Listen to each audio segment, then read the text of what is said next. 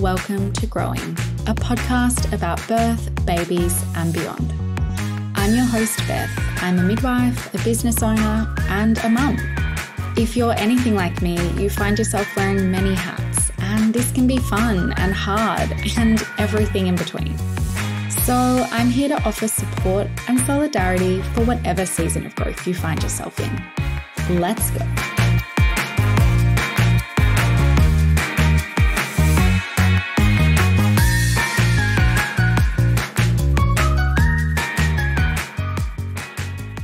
Hello and welcome to Growing. Today on the podcast, we are joined by Leonie. Leonie is a mum of two toddler boys. She is the host and founder of the Parenthood podcast, where parents call in with confessions of what is keeping them up at night.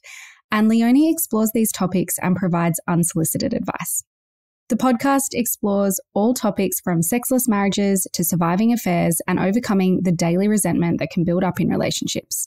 Leonie is also a relationship coach property developer, part time model, and is very well versed in juggling it all. I am so honored to have Leonie on the pod today. And with her impressive resume and skill set, we honestly could have discussed anything. But today, Leonie joins us as a relationship coach to discuss hot topics around relationships and parenthood. Welcome, Leonie. Thank you so much, Beth. It's so good to be here. Now, I, like I said, we honestly could have talked about anything. Particularly, what resonated with me when we connected was the fact that you do juggle a lot. I think that's something that I navigate on the daily as well. But I immediately was drawn to picking your brain about relationships because it is such a big and complex challenge that people and couples face when they move into parenthood. Mm. So, what I actually did was I put it out to my Instagram community. I said, What do you want to know? and I was overwhelmed with many, many responses. And so, we're going to kind of work through some of those topics today. Love that. Now, it won't surprise you, but absolutely the biggest topic that popped up was this idea of the mental load. How mm. can I get my partner to see it, to understand it? And something that I noticed popped up a lot in the questions was this theme of how can I share my mental load without minimizing theirs or without sounding like I am complaining or or minimizing the stress of being, you know, not the primary carer or not the parent in the home. So I wonder if you could share some of your thoughts on that. Yeah, absolutely. And it's such a big topic and one that we've explored in our podcast too. So I feel like it was brought up on the ABC podcast to, uh, last year on Ladies, oh, We Need to Talk. And I think from there, there was just this explosion from everyone like, yes, that's what it is. We've given it a name now. It's the mental load, right? It's the, you know, who's doing the shopping and who's mm-hmm. putting the chicken on when the kids get home and who's going to do the bath washing and who's, you know, all that stuff that, you know, is on the to do list. That's all often in our heads um, that we don't necessarily articulate on the daily. So, what they actually, and what the research suggested, particularly from the ABC podcast, was it's actually an interesting activity if you start jotting the, write a list, write a list of all of the things. Now, that list could be 150 like rows de- long, but um, my co host Liv and also my best friend who joins us for a number of um, every every sort of second or third episode, she did do that list. And mm-hmm. she came onto the pod and she was like, girlfriend, I was ready to say,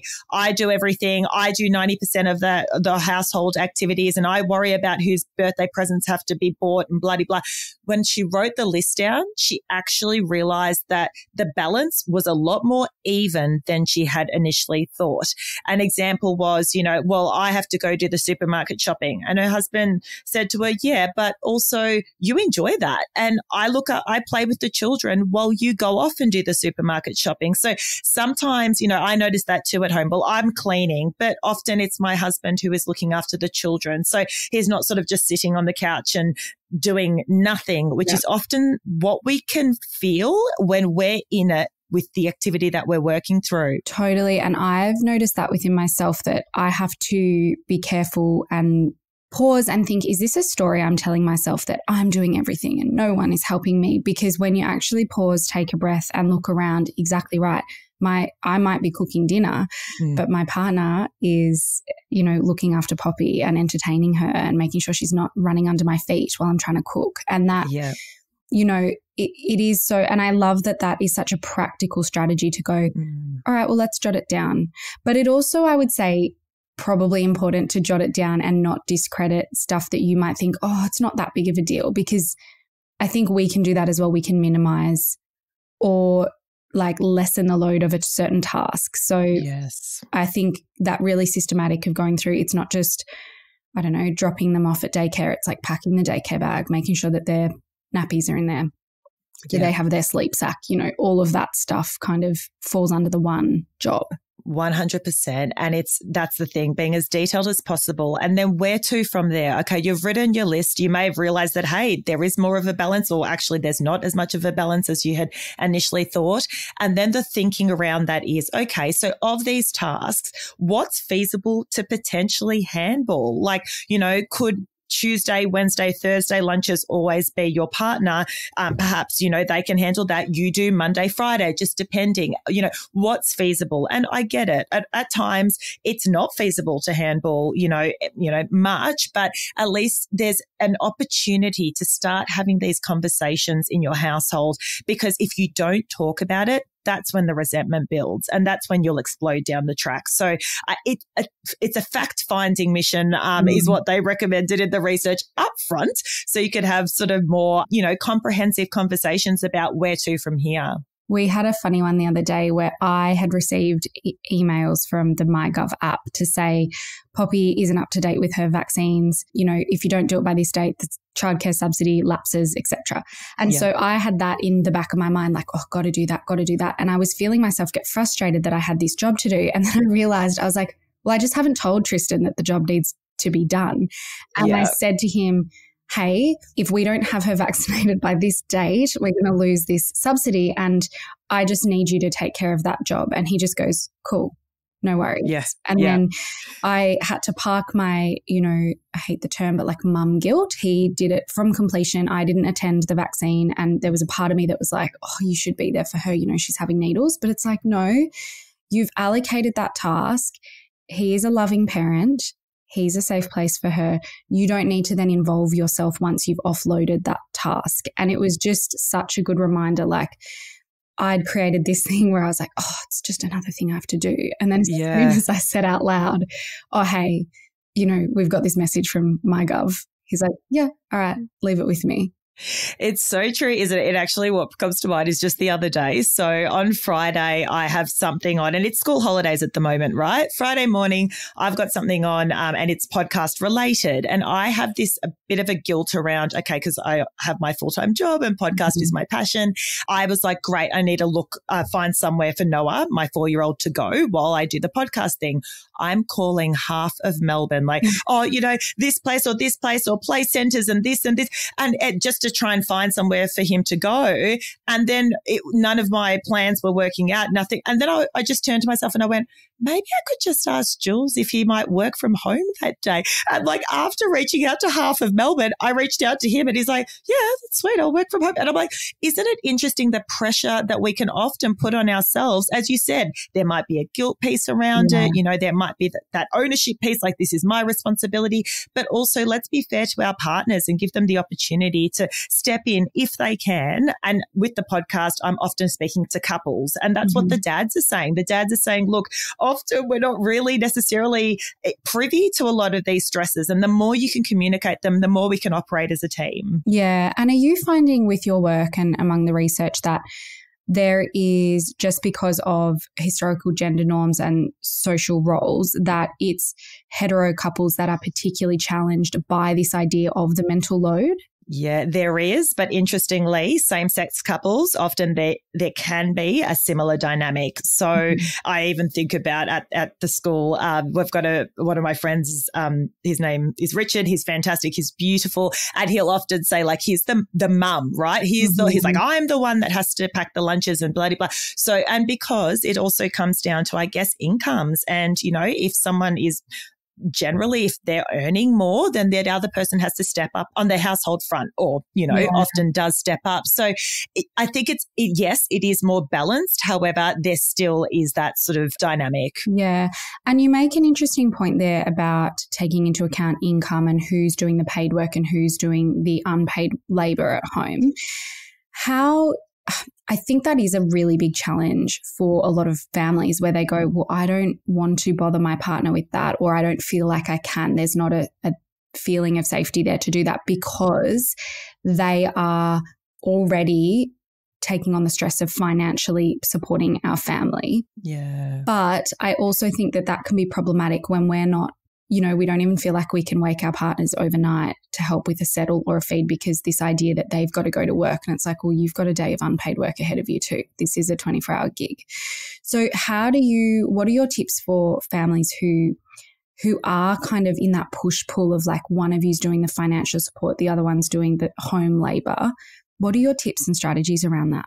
Yeah, I mean, I can very much relate to that as well, where I was often home more with the children um, and hubby was out working. And what happened with me, even just from a personal standpoint, was resentment built so much for me, particularly after we had our first and your whole life is spun on, on its head. And mm-hmm. often you feel that, you know, your partner's life isn't as, you know, chaotic, for example, and it hasn't changed as much as yours. And so I think for a while there, I just like, you know, grit my teeth and was like, this is my my role and I'm just going to have to suck it up because he's got to go off to work. But what I realized was if you are not communicating that, and it, it can be really difficult to communicate, as you said, if there's a bit of guilt associated with it and things like that, it can be. But if you don't, you end up where I ended up. So I just was chugging along, you know, probably eight months down the track after having my first, and we were at a dinner party. So it's funny how resentment seeps out. Oh, so we're at a dinner party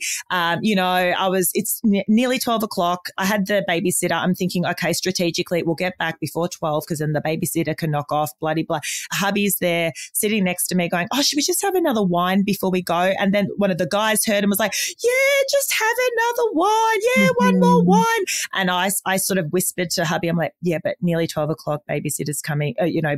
We'll You're already doing that mental labor. Exactly. Yeah. I'm like, you know, and long story short, I had to give him the death stare and we ended up leaving. We got back by 12, but uh, then it all just exploded. I'm like, you don't understand. You're there willy nilly at the dinner party having your glass of wine. I'm thinking 12 o'clock nanny, da da da, we've got this tomorrow, da da da. And I'm like, this is me all the time, you know, mm-hmm. and, and I have felt guilty to mention it because yes, you are working, but at the end of the day, this is so much on me. So it, it came out in probably more of an angry tone than what I would have liked. And so I guess the guidance around that is that was a great lesson for us because actually what we ended up doing after that was he still didn't quite get it. And we went off to see a relationship therapist and we had three sessions with her because we couldn't hear each other. You know, mm-hmm. um, although I love relationships and I, and I love speaking to people about them and looking at the research and things like that, doesn't mean I'm perfect. And often we do need that, ex- that external support. So she gave us some tips like, you know,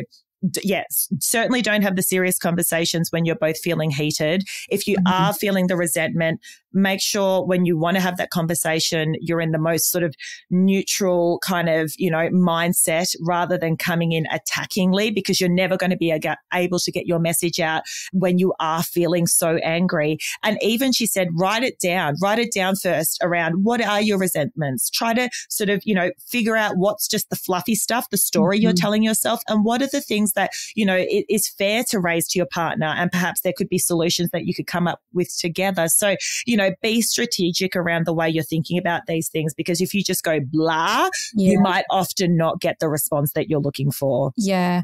And I think like what you've highlighted there with that one story, I feel like so many people could relate to, particularly mothers, because what happens in that scenario is you are well, you're kind of robbed of your opportunity to have fun, but you're also cast in this like fun police role it's like it's all you know i can see where you would have been in that situation where it's like oh it's also fine for you to lean in and be like yeah one more drink but yeah. i'm over here like already 10 steps ahead to make sure that tomorrow is not a complete shit show yeah. and you can't see why that is also valuable and why i need you to meet me in this place yeah. something that i've found with us with the mental load is that it it is not a set and forget. So you can't do this exercise of having these conversations and going, okay, cool, that's your job, that's your job.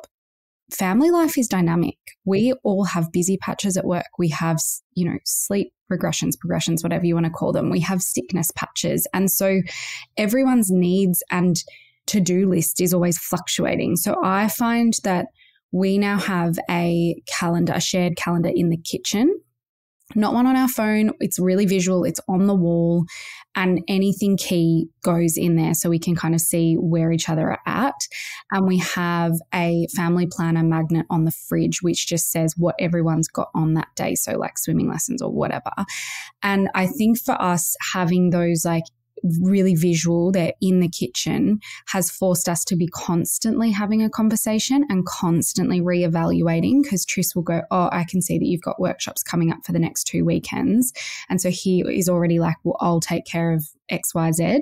So I think that if, as at a base level, if you're struggling, like get it out in the open and really start to visualize what each person's week looks like. Because maybe if you put down all of the things that you're doing for your kid, like, well, kids, you've got doctor's appointments on there, you've got swimming, you've got music class, you've got to drop them off, and it's all on the calendar in a certain color, and you that color belongs to you.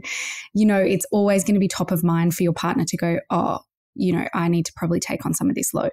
That's such a good one. Yes, I love that. We've got the Apple calendar where, you know, the green is the fam, the family, yep. you know, items. Uh, but yeah, you're probably right because only the other day something got missed. Uh, so Jules had said, Oh, we've got something on that Saturday. And I said, No, check the family calendar. Mm-hmm. We've already got XYZ on. And then we had the clash. So I think that's really powerful, perhaps having it, you know, physically old school, old school written yeah. out so you yeah, can see. And I take such pleasure on Sunday night of like filling in our meals. And also, I found that we meal plan now, which is also a huge load off because I, for me, the mental load of decision making is frustrating. I'm the naturally yes. more decisive person of our dynamic.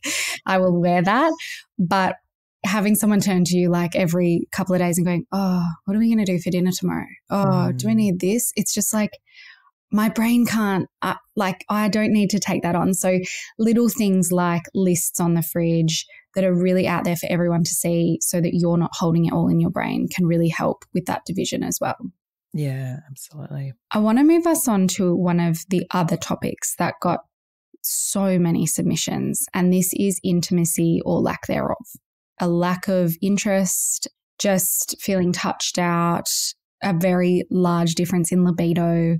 Um, and I know a lot of it is, is interlinked with the mental load. But what is your experience in the with the couples that you work with, particularly in parenthood, around this topic? Yeah, it's interesting and it's such a big one and so common. So for all of those out there who are feeling inconsistencies in libido and, you know, feeling touched out, you know, I've been there. So we've all been there, I believe, at some point. So look, there are sort of two philosophies or theories. One is that if you are feeling touched out, just go for it anyway, i.e., show that level of intimacy or be intimate with your partner. And when you're in it, you might get your mojo back. That's one mm-hmm. philosophy. Another is actually no, if you're not feeling you know, the desire to be intimate, then you, as an alternative, communicating that as much as you can to your partner. So I had a couple come on the show and they said, you know, they'd had that patch where, you know, he said, I just didn't feel loved. Like it was mm. just a mm. period where I was like, does she even care about me? I mean, all she's doing is, is worrying about this baby. And I get that. And I love this child, but like,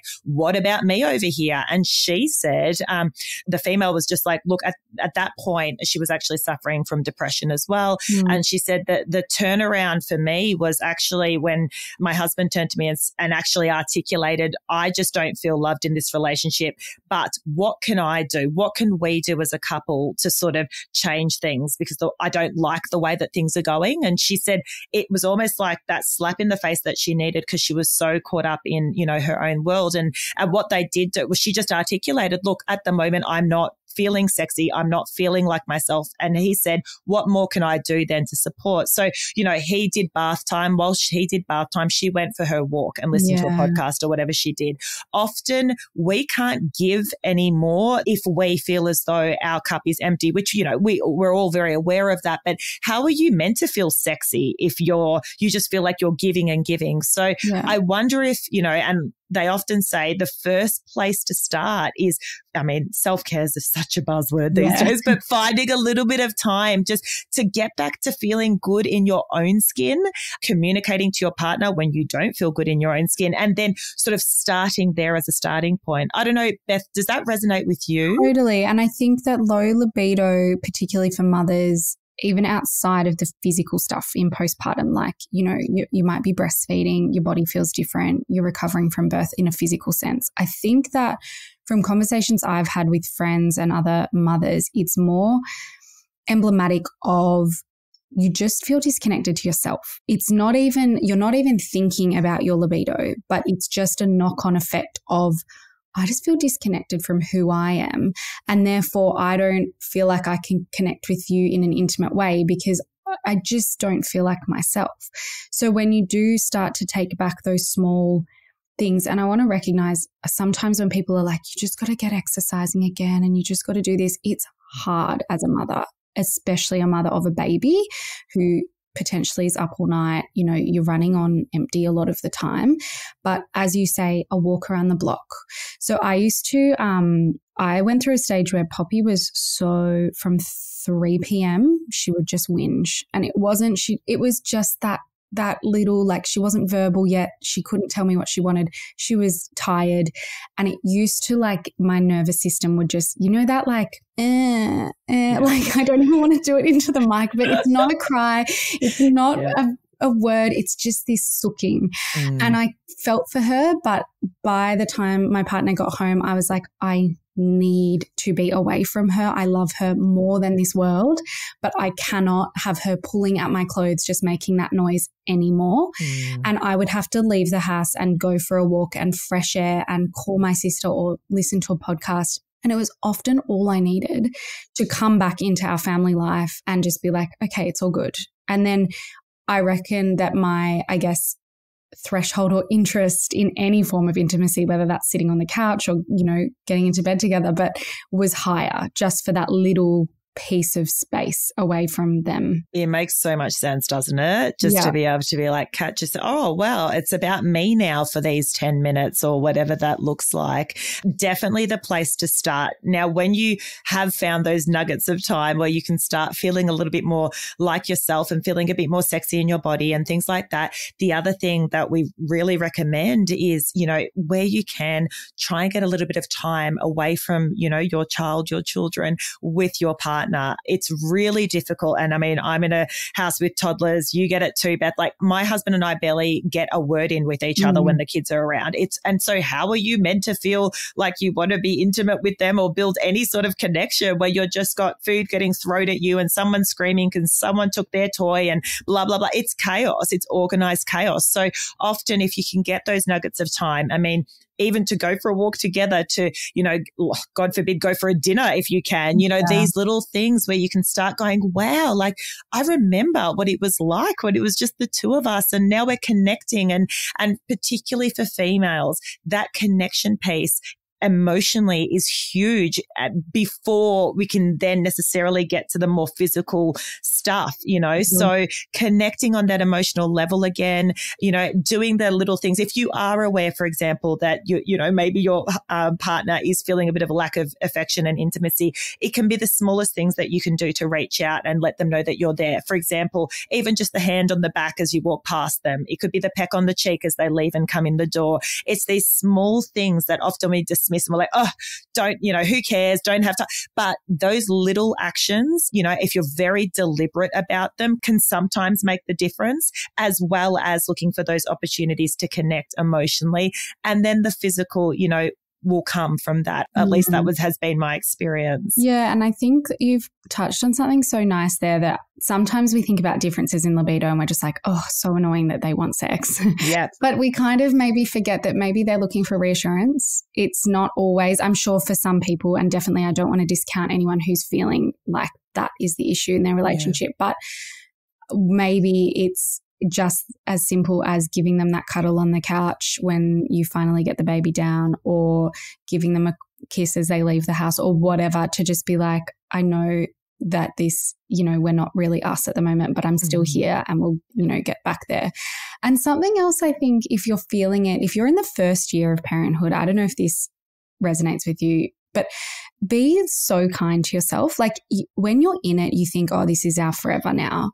And certainly I've had those thoughts of just like, oh, well, this is us, you know, just ships in the night. I think someone wrote in roommate stage, and I totally feel that. But it does pass. Like the intensity of the first year of a child's life eases in in some ways. It doesn't it doesn't go away. Toddlers are crazy, but but that having the baby on you all the time, needing them to be in the carrier, if you're breastfeeding, settling them multiple times a night, that stuff slowly drops away and you can fill that space again with time with your partner, or at least that's been our experience. Like the first year, it just, there was definitely patches where it was, you know, we're friends, we love mm. each other. We're not being very intimate or close right now, but it does improve. Absolutely. And, you know, little things like maybe they go off to daycare, maybe you have that little bit more time, just having the time away. You might go back to work or, you know, if you are home working, doing initiatives that you love or reading a book. And the more that you feel like you're back to a little bit more of your usual routine, mm. certainly, mm. yeah, you've got that little bit more room to, to give to someone else other than this little baby. I mean, for my first year, I had prenatal depression. It was a whirlwind. I just, and I had sorry, I had post and pre while I was pregnant. So probably for a good two years and for each child, I experienced the same thing. So I was not myself, but the things that pulled me out of it or the things that helped us maintain our connection were, you know, my partner was really insistent. He knows I love to go to restaurants. I love food. And so, you know, he would say when I was pregnant, well, we'll go down to the Thai place on, you know, even if it's once every three weeks and we'll book that in and off we go and have a little pad thai together and let's just re- use that as our reset. And we still use that as our reset now when we want to sort of reconnect. So finding the things that you love to do together, popping them in the diary and making time for them, I think is always sort of a good approach to take. Otherwise, life gets in the way and you're several years down the track and you're like, oh shit, how did we get here? You know, yeah. it, it, it is a job to some extent trying to reconnect as a couple. And I also had someone write in to say that it was very evident that they needed the support that you're referencing, but there was a level of resistance from their partner in seeking that support, in finding those strategies. Mm. That's such a tricky spot because it would feel like you're, you know, you're trying to come up for air and you're trying to bring them with you, but you're not quite getting there. You mentioned that you you and your partner went to counseling. Was there any conversation about like getting you both there? Were you both open to it? Do you have tips for people who are, for lack of better word, trying to convince their partner to get some help as a couple? Yeah, it's interesting. I literally had this conversation with someone two days ago and it comes up a lot. Mm. So, look, I was fortunate in my partner being quite open to seeking some, you know, third parties assistance. However, I literally just the other day I was speaking to a girlfriend about it and she said, I just know he won't go. He, mm. he's a, you know, this I guess I w- I won't even say a masculine man, because ma- you know there's positive masculinity as yeah. well, but he's just very reserved, I guess, in the idea of you know showing his emotions around others. And so I said to, okay, what is in your control then? What can we do for you?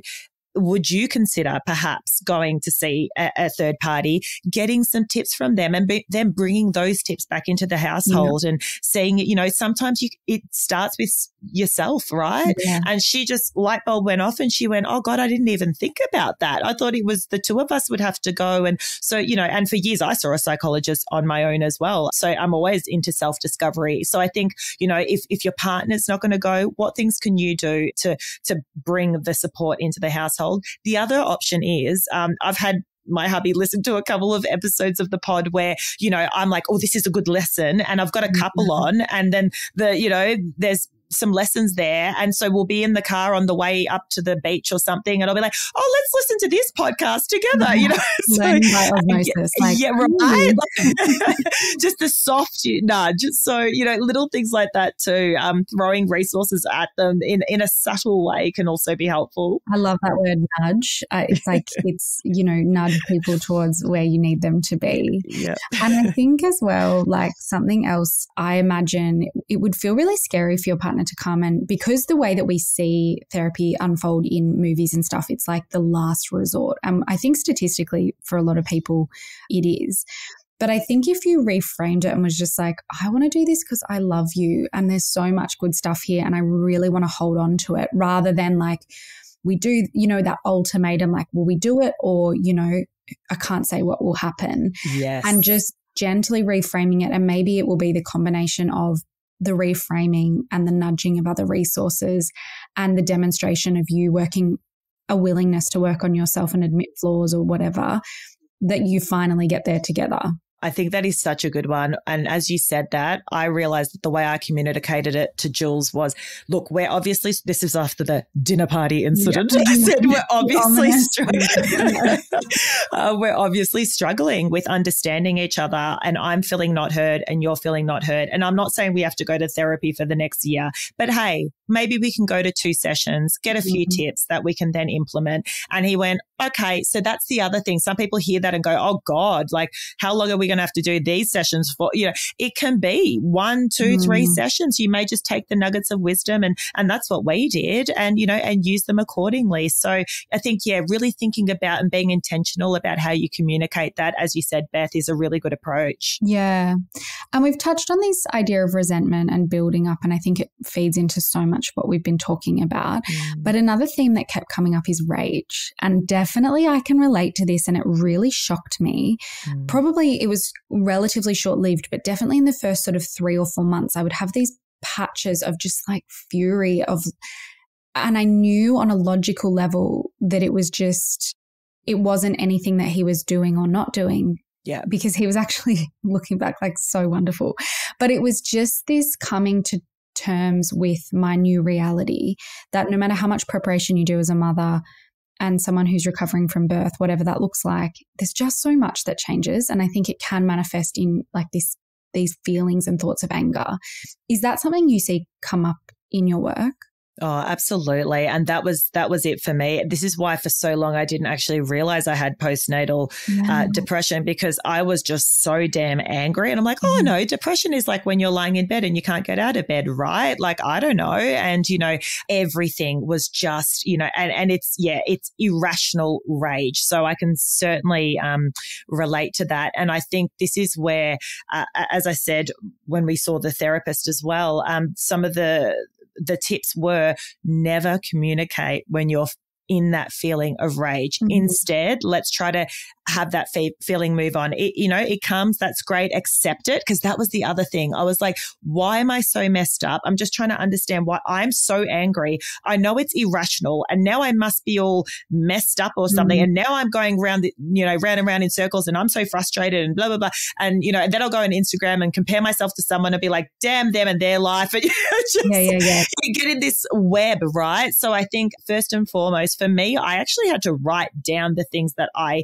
enjoyed doing because I was so in my own head that I couldn't even remember what they were. And they were calling a friend, listening to a podcast, going for a walk, those sort of things. So I started implementing them as much as I could into my schedule. And, um, and then, you know, when I'd feel the rage come, I'm like, great, I need to shift gears. What can I do? And so I guess my biggest pointer around rage is, yeah, certainly doing the things that make you happy so that you can try to, you know, shift from that. However, when you are sitting in it, I wouldn't recommend communicating mm. to your partner, you know, um, in those moments. Best for to let them pass and then perhaps looking for solutions around that too. Yeah. And I found that saying them out loud to Tristan, but not in an angry way. Like when I was feeling a bit more settled, and it would almost make me quite sad because I would say to him, like, I just Mine was stuff like, I'm angry that you can leave the house with nothing, like yeah. your pocket, you know, you've got your keys in your pocket.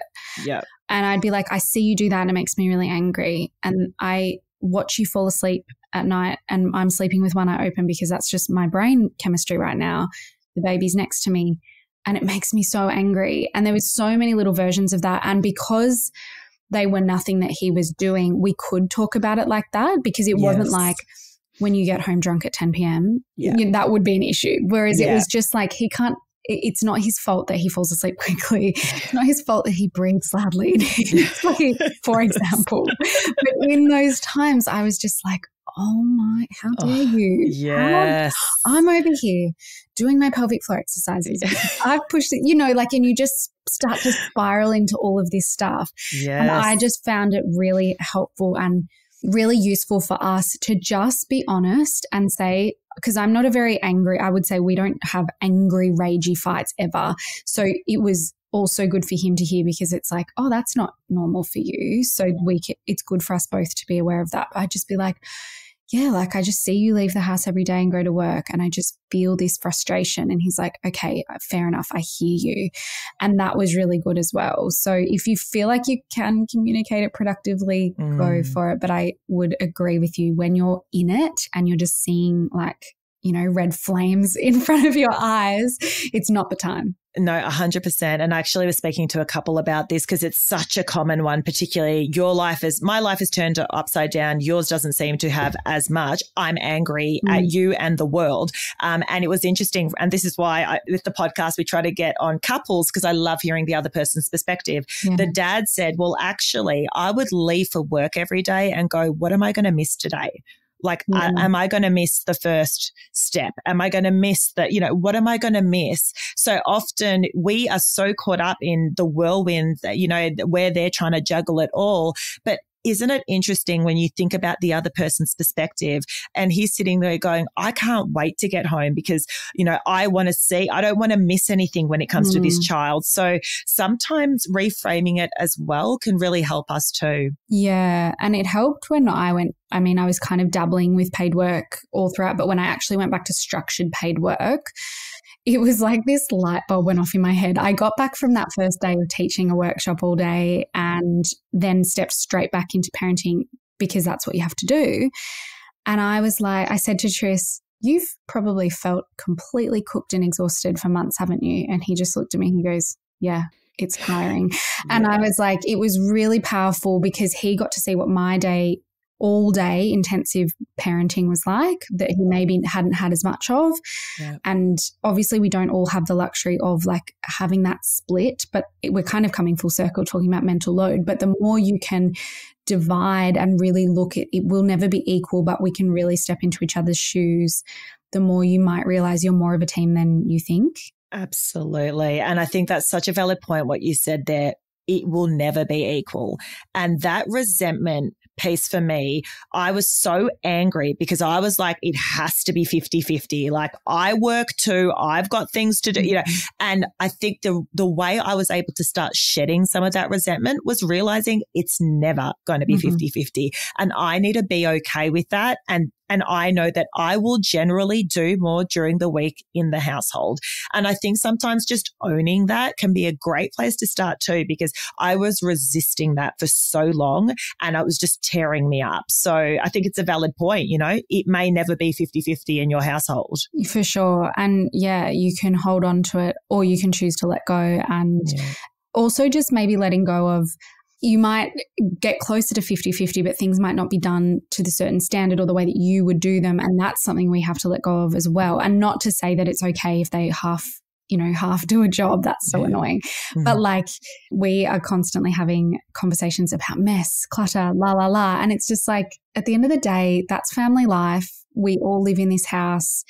And it's actually a me problem. I don't like things everywhere, but you know, no one else is bothered. Yes. Pillows are on the floor and the basket of toys wasn't picked up, you know, as soon as they weren't in use anymore and that the yeah. towel wasn't hung up straight. It's like you kind of, well, I, for me anyway, I've had to also do some introspection and be like, that stuff stresses you out. It actually doesn't change the functioning of the household. It's not, yes. um, you know, it's not a sink full of dishes. That's different. It's just evidence that we all live here and it's messy yes. and so on. So, yeah, I think picking your battles and knowing where to hold on and where to let go is what I've really tried to do. Yeah, spot on. I totally agree. So I think we've worked through a lot of the key topics, but one more that I do just want to hear your thoughts about before we wrap up is this idea of what do you do when you and your partner have different parenting styles? Do you merge them? Do you let go of one? What, you know, especially I had a few questions around different approaches to sleep, you know, co sleeping and affection or wanting to sleep train or, you know, it's so complex. But yes. have you had experience with that where parents are going, what does this look like for us? Because we don't agree.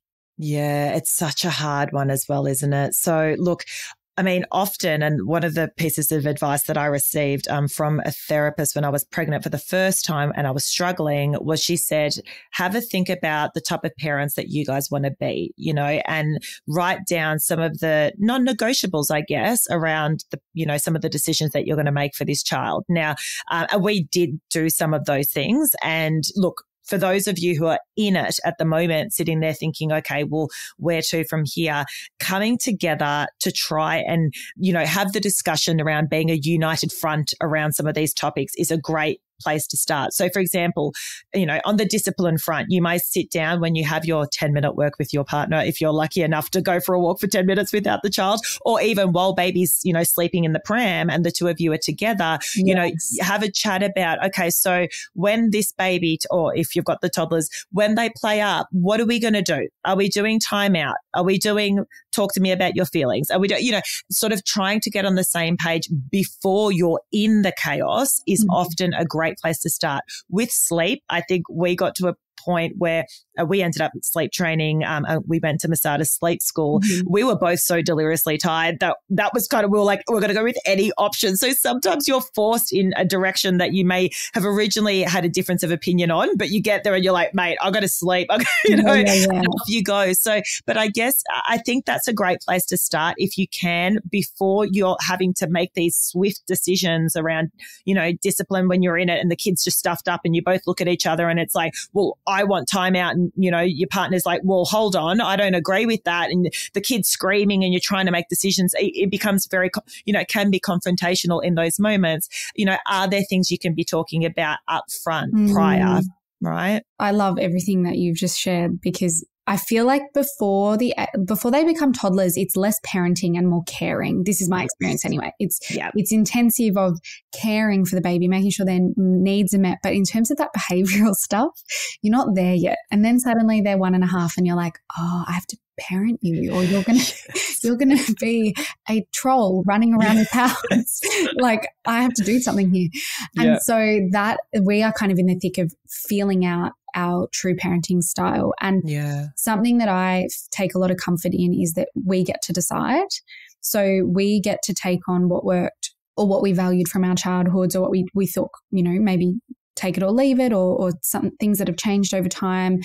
And the one big thing I don't really mind, like we're both we're pretty different people, me and my husband, but where our values are very much the same. But my big thing will always be consistency and being a united front because I don't think it's ever helpful for you and your relationship to feel like your kids have the ability to play you off against each other. And if one of you's saying one thing and then going, oh, well, mummy said this or daddy said that or whatever, I feel like that is where I would personally feel a lot of resentment because I know that we would naturally slip into like someone's the fun one and someone's not. And I think that would be the hard bit beyond even the parenting decision that you've made, if that makes yeah. sense. So our conversations are a lot more about like, what do we want to do? Let's have this conversation away from Poppy, not in the moment in front of her. And then let's try and be supportive of one another and be consistent. So if you, if I see Tristan be like, no, the TV's going off, I don't then go and turn it on half an hour later when he's not looking. Because yeah. even if I'm like, oh, I just needed 10 more minutes while she was watching the noodles, why yeah. did you turn that off? I'm like, that's a decision that's been made, and you're my partner and my, my teammate in this moment, and I have to support you. And I would hope that you would do the same. Yes. So yeah. And I also heard a really beautiful tip once that if you were to write down, and you might have done this in your processes, but if you were to write down what your goals and hopes are for your home life or for your child's experience, you'd probably write the same things to feel loved, to be safe. You might go about it differently, but your hopes for their experience of being parented are the same. Yes. And so that can be really powerful too, I think, if you're just, if you feel like you're really at odds break it down and be like, well, are we at odds or are we just going about this at really different ways? Yeah, love that. No, that's fantastic. And even just uh, an extension of that is, you know, if you have found that you're, you know, having an argument or, or a difference of opinion in front of the children, there's a way to sort of be productive about that to some extent. But if you're finding it's not being overly productive, again, just parking it, like you said, and so know coming back to it, which is a really difficult thing at times when you want to get your message across. But that is something that we've tried to implement too, because yeah, we want to appear as much as possible as a united front in front of this little one. And um, we're never going to be perfect, but it's just a little things to bear in mind, right? As you go about your day. Um, yeah, it's always a good place to start. Yeah. I honestly could talk to you about this stuff all day, but I am very conscious of your time. So I'm going to wrap up by doing something that I've been doing with the beautiful growing guests lately. And I ask in advance a question, just saying, if a new mum came to you and shared that she was feeling lost, what would you say to her? And you very beautifully said, We all feel lost and you're not alone. There's no manual for this. It is the most fulfilling yet challenging experience but speak to friends, people in your community, listen to podcasts, and seek out resources so that you feel less alone. And I just think that's the most beautiful note to end on that we shouldn't be navigating this feeling like we're the only ones because we're certainly not. Yeah, love that. thank you so much for your time, Leonie, and thank you for letting us walk around your brain for a little bit. Thanks so much, Beth.